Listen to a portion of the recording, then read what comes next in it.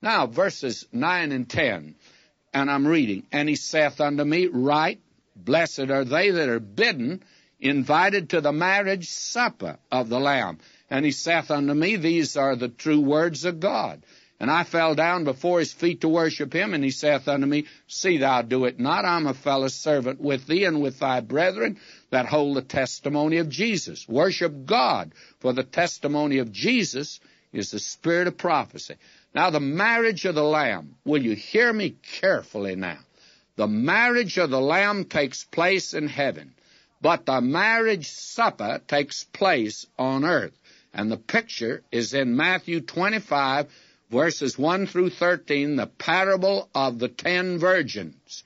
You see, they were not the bride. He has only one bride. That's the church. And these ten virgins were waiting after the marriage. You see, the bridegroom returns to the earth for the marriage supper, not only to judge the earth, but for the marriage supper. And the ten virgins were expecting to attend.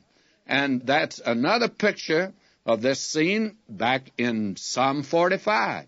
You see, Christ is seen coming as king, and the queen is there. Well, you're not told who she is, but we're told king's daughters were among thy honorable women. Upon thy right hand did stand the queen in the gold of Ophir.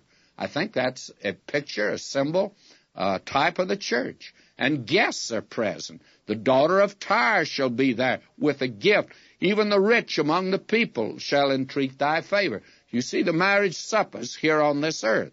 Now, both Israel and Gentiles who enter the millennium are the invited guests.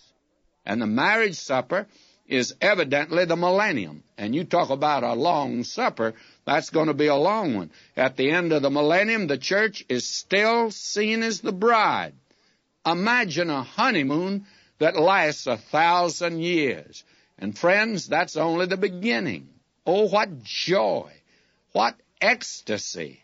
The angel puts God's seal on this scene.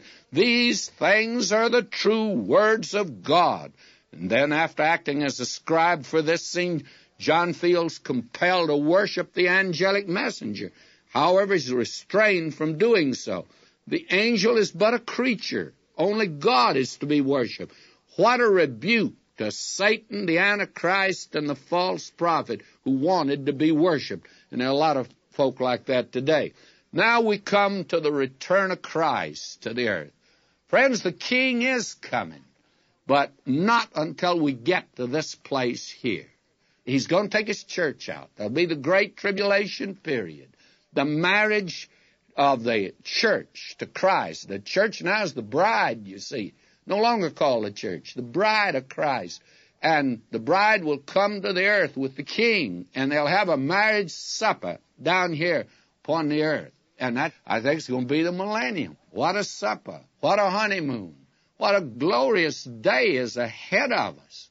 If we could just only get our eyes from off the muck and mire of this earth in which we live and get it on things